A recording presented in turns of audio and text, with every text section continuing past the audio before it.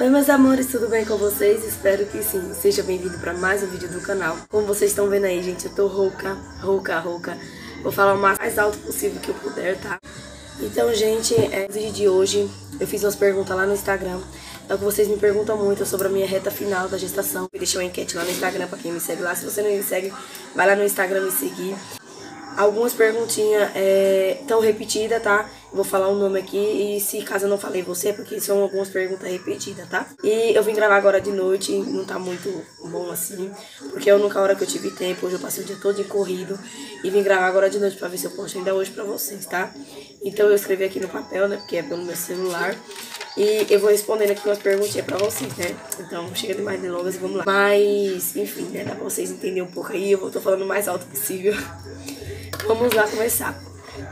A primeira pergunta é da Ar Arcane. Me desculpa se eu não, não tô lendo, se eu tô falando errado o nome, mas foi o jeito que eu li lá. Arcane. Que diz assim: Qual data prevista para você ter seu bebê? A data prevista está para o dia 11, pela última data da menstruação está pelo dia 11 e pela ultrassom está para o dia 19, mas eu estou indo pela última data da menstruação. Então, o dia 11 de setembro agora. A Duda botou: o que você acha melhor começar a comprar para o enxoval da minha bebê? Eu acho melhor, você, se caso você não for fazer chá de fralda, eu acho melhor você comprar fralda, né? Porque roupa você vai, roupa também é, você ganha, ou às vezes você é, se perde, não é? Roupa você não pode sair comprando um monte. Então eu acho melhor você comprando fralda, lencinho, essas coisas que o bebê usa mais, sabe? A Caroline botou, você anda de moto porque vi você com capacete na cabeça. É, porque eu botei no Instagram, pra quem me segue no Instagram, nos stories, viu? Eu botei uma, uma foto minha, o capacete na cabeça. Sim, eu ando, mas eu, eu tô, aliás, tô parando agora já, sabe? Porque eu já completei 38 semanas. E infelizmente é o único transporte que nós temos. É a moto. Não, nós não tem carro no momento. Então, no momento nós tem só a moto, né? Quando precisa, aí eu vou sim, eu ando de moto, mas não é toda hora em cima da moto não.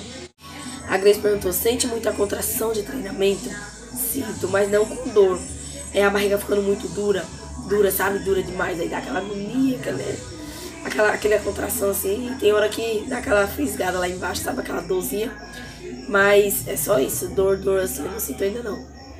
A Lurdinha, você está nervosa? Eu tô mais ou menos, porque no meu primeiro filho eu tive mais.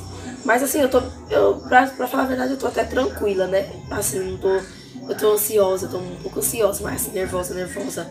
Aquele nervoso, tô não, tô tranquila, graças a Deus. A Tamires, minha xará, como tá sendo agora na reta final pra ter relação sexual? Dói, incomoda? Então, assim, tá sendo tranquilo. Assim, lógico não é a mesma coisa da pessoa com a barriga pequena, né? Porque você tem que ter uma posição certa, você tem que saber certo, né? Não é, não é aquela coisa toda, a barriga pesa, não é aquele negócio assim, né? É, vocês me entendem, né? É tudo devagarzinho, direitinho, porque a barriga pesa muito aí, enfim, mas tá sendo tranquilo. A Jaqueline botou.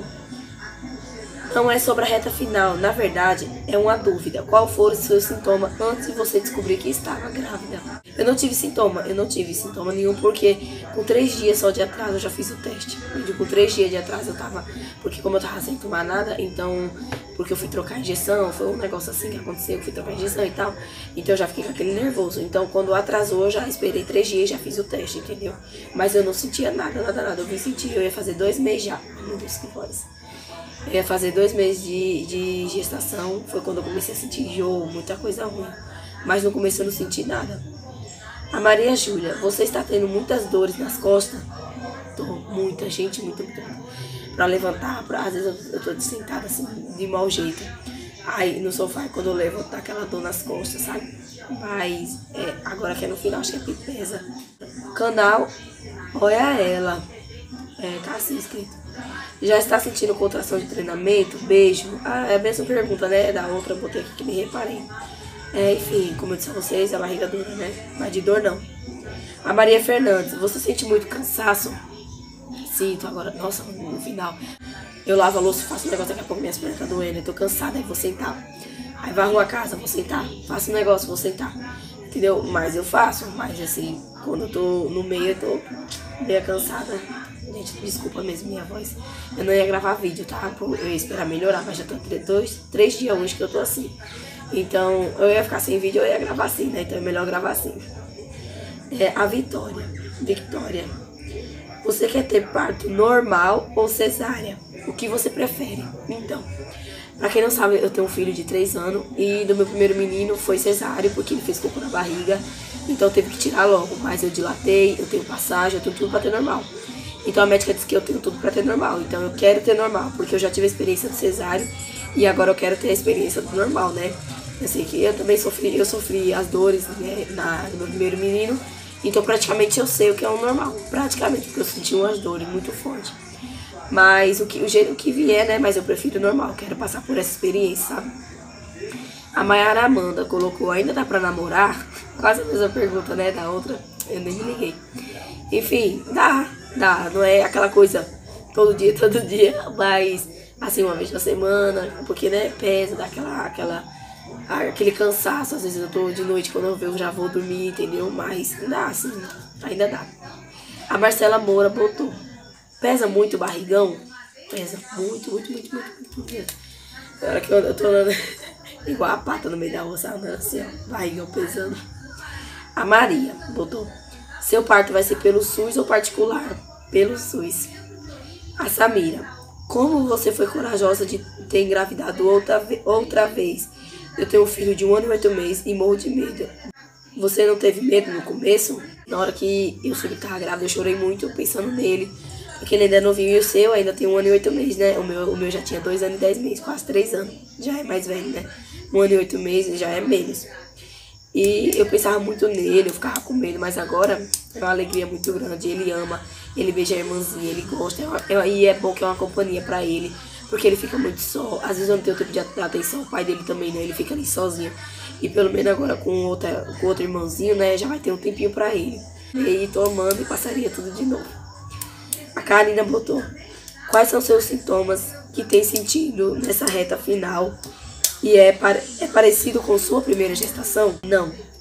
É, agora pesa mais. A dele, a dele também, assim, pesava a barriga e tal, mas a dele era muito tranquila, eu não sentia muito cansaço, eu não sentia muitas dores nas costas. É, eu fui muito tranquila a gravidez dele, nem parecia que eu tava grávida. Mas a dela tá sendo mais, mais, vocês sabem, né? A Dani colocou, seu bebê já está encaixado? Já.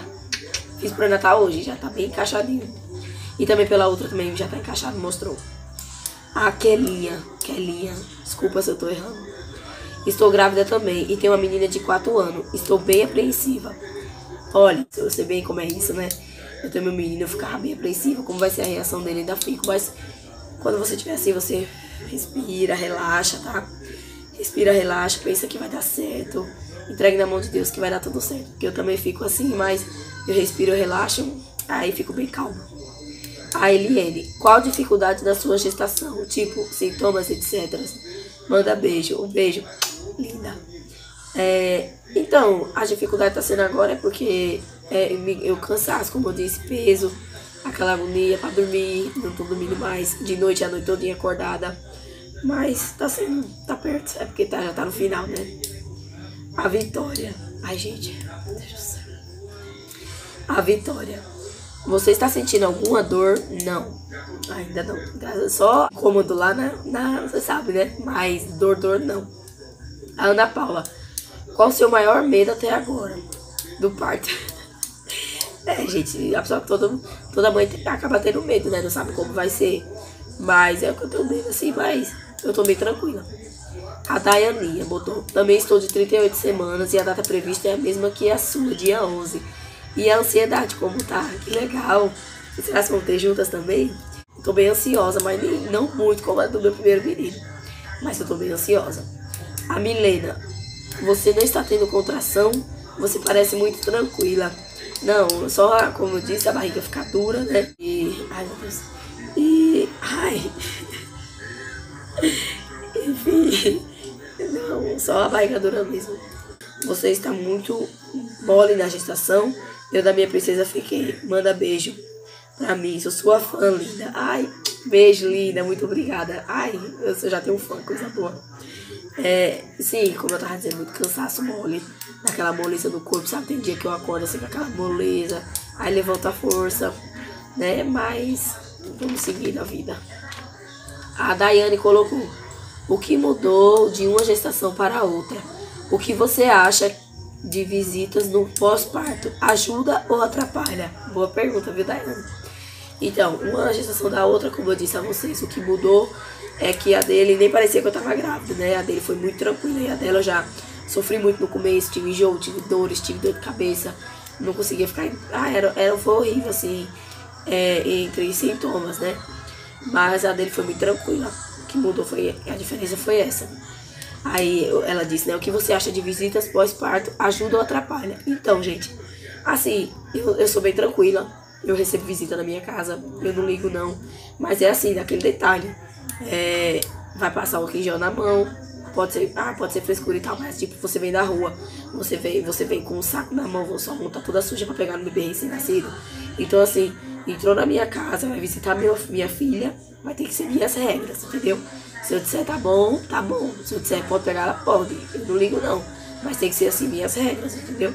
Você ajuda, assim, você olhando tudo mais, atrapalha se caso você não, não for com minhas regras na minha casa e com minha filha, né? Mas enfim, é isso. A Ianca Yasmin botou. Quem vai te ajudar com as crianças durante o resguarde? Sou do Rio. Beijos. Beijos, linda. É, então, minha mãe mora longe e ela trabalha. Ela trabalha de segunda a sexta. Ela cuida de uma criança. E a minha irmã teve bebê recém-nascida. A outra também tem um bebê e também ela mora longe. E a outra é de menor. Então, assim, a minha família perto mesmo só são mais essas pessoas que eu tenho perto. E minha mãe também, ela mora mais longe, sabe? Minha mãe também mora muito longe. E aí fica muito difícil. Mas ela disse que se, tiver, se eu tiver no sábado, é, todo sábado e domingo ela vai fazer o possível pra estar aqui em casa. E se eu tiver no hospital, ela vai lá. É, e meu marido também, meu marido também vai me ajudar muito, ele me ajuda muito ah, com tudo. Às vezes eu tô fazendo negócio, é ele que dá banho, ele dá comigo, meu filho, tudo ele ajuda. Até na casa mesmo, eu pedindo, ele ajuda. E aí tem uma amiga minha que vai ficar com ele, que lá no hospital onde eu vou ter, pode ficar homem, sabe? O marido da pessoa pode ficar. Então a minha amiga vai ficar com o meu menino, que é assim, é um grude só, porque ela sempre me acompanhou desde a gestação até agora, então ele é louco por ela. Então vai ficar, ele vai ficar com ela e meu marido vai lá ficar comigo. E também tem outra amiga minha que disse que ficava lá comigo, e tem a prima dele. E, e nós se vira aí, nós vai ver. A Giovana, a última pergunta. Sente muita vontade de fazer xixi agora na reta final, minha filha do céu, pelo amor de Deus. Não é xixi não, normal, não. Eu fico jeito, tem hora que eu nem bebo água, mas é xixi, xixi. Teve uma noite dessa que eu acordei seis vezes para ir no banheiro, eu contei. Eu já tava já aperreada, disse misericórdia. É, é de 24 horas gente fez xixi. Mas é porque a, tá pesada, né? A barra fica imprensando. Ah, por isso que a pessoa fica querendo. Enfim, gente, isso foi mais um vídeo pro canal. Algumas perguntinhas. Teve outras que foi repetida, tá? E que que eu botei, acabei botando aqui, teve outras também que eu, eu não respondi. Se caso você fez a pergunta, é porque foi repetida, tá? Que eu não respondi. E então, essas foram as perguntas que eu pedi lá no Instagram sobre a minha reta final. Se você tiver alguma dúvida, alguma coisa, comente aqui embaixo, tá? Se caso eu não comente, eu responder na mesma hora, eu respondo depois, ou eu curto. Pode mesmo, eu que essa voz, gente, ignora. Eu não ia fazer vídeo, mas vocês pediram muito, né? Ficou aqui esse vídeo aí, por isso que eu vim fazer com essa voz. Mas eu acho que dá pra vocês entenderem aí um pouco. É, mas enfim, gente, muito obrigada por assistir mais um vídeo pro canal. Se você é novo, se inscreva. Gente, somos 4.500, estamos perto, perto, perto de 5 mil inscritos. Então, muito obrigada a todos vocês, tá? Eu fico muito feliz, muito feliz. E, enfim, gente, é isso. E se, você não me segue lá no Instagram, vou deixar aqui, ó, Tamiris Mãe de Dois. Me seguir, que lá eu coloco stories, fotinha e lá, assim que a menina nascer, já vai direto pra lá pra verem. Então, se você, ó, não me segue, vai lá me seguir, tá? Então, um beijão e até o próximo vídeo. Tchau, tchau.